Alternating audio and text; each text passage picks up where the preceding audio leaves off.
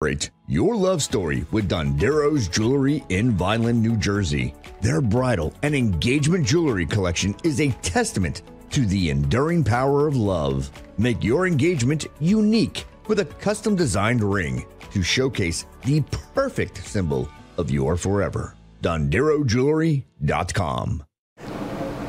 Happy Wednesday, everyone. The risk for severe thunderstorms has settled down a little bit. We're seeing a couple of storms roll right across our area right now. Still a lot of activity out towards portions of Maryland and Northern Virginia. We're going to keep an eye on that as it rolls across our area. We're still slightly concerned for those stronger wind gusts. Earlier this evening, we did have some 50, 60 mile per hour wind gusts kind of moving through north and central Jersey. Right now, we're down to that 5% chance. So like I said, all of our concerns are starting to kind of come down a little bit. We're still going to see a lot of rain later on tonight and into early tomorrow morning. So we're still in a, a risk for that excessive rainfall, that localized flooding as that second round of activity rolls towards our area. Again, we saw those storms kind of roll through north and central Jersey. Now we got to turn our attention to what's kind of rolling out of Virginia and Maryland. Some of those cells are just going to be slowly moving across our area as far as the thunderstorm risk. We're just going to be dealing with probably some thunder, lightning, and some really heavy rain. Tomorrow throughout the day, we continue to see more chances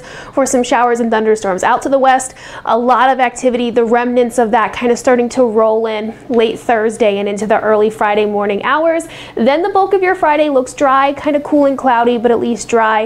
And then we see another round of activity on the way for Saturday night into Sunday. One of the big differences we're going to see for the next few days, the cooler weather. We were back up into the 90s, feeling like 100 today, but as we look forward to tomorrow, we'll be back into the 70s. Still a little bit of a sticky kind of humid feel in the air. Those dew points are not falling as low as we would typically see with a sharp cold front. We're going to be back up into the upper 70s. Again, extra clouds hanging out overhead. Maybe a couple of quick little scattered showers in the afternoon, but most of the activity does hold off until a little bit later during the overnight hours. Looking at that 7-day forecast, we'll see some storms sticking around till early Friday. Another round of activity on the way Saturday night into Sunday, but Saturday and Sunday themselves look very nice. Temperatures in the 80s with some sunshine.